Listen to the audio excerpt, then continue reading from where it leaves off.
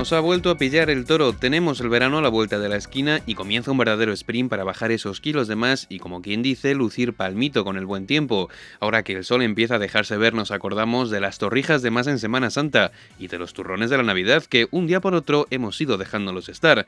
Y es que no puede ser que a última hora, en un par de meses, queramos hacer lo que no hemos hecho en todo el año. Los expertos nos recuerdan que lo de bajar ahora unos kilitos está muy bien, pero que lo óptimo, lo verdaderamente recomendable es hacer deporte a menudo y los que lo hacen así no solo están en mejor forma física, sino que padecen menos estrés y están de mejor humor. Ya saben, mensana, corpore sano. Está más que comprobado que la actividad física regular eh, incide muchísimo sobre pues, las condiciones de, salud y hasta incluso del estado de ánimo.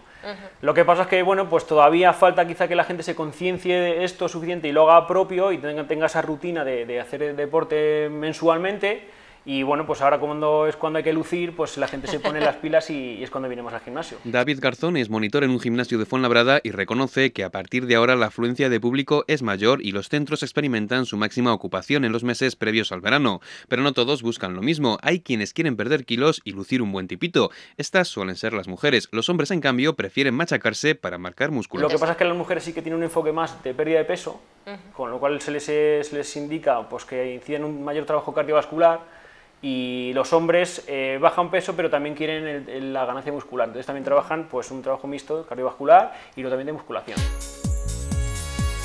Para conseguirlo, ejercicios hay para todos los gustos, entre los más populares el spinning, ese que compagina la bicicleta y la música, o el body pump, que son ejercicios aeróbicos con pesas, aunque tampoco pasan de moda el footing o la tradicional bicicleta estática, lo que sea para superar con éxito esa dichosa operación, la del bikini antes del verano.